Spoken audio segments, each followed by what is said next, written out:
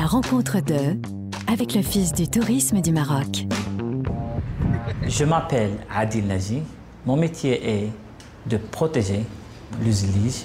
On travaille dans la fabrication du zélige et la restauration des monuments historiques. Fès est le capital du zélige parce que c'est à Fès où on trouve l'argile pour euh, fabriquer le.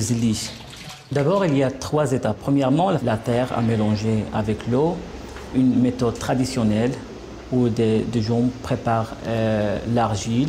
Deuxième phase de fabrication, c'est de couper le zélige.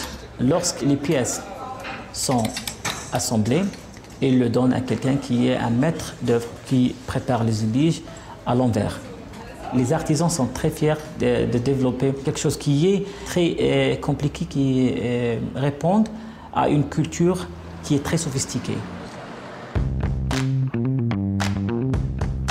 Des rencontres qui font grandir l'âme, c'était à la rencontre de avec l'Office du tourisme du Maroc.